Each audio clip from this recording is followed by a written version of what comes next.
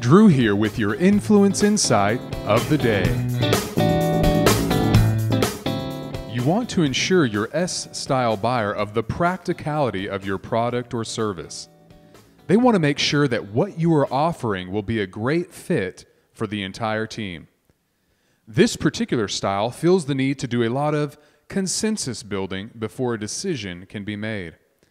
They'll review your proposal with the team and have the team sign off on it before they make a final decision. Here is a great question to ask the S buying style. What practical options do you have to address this?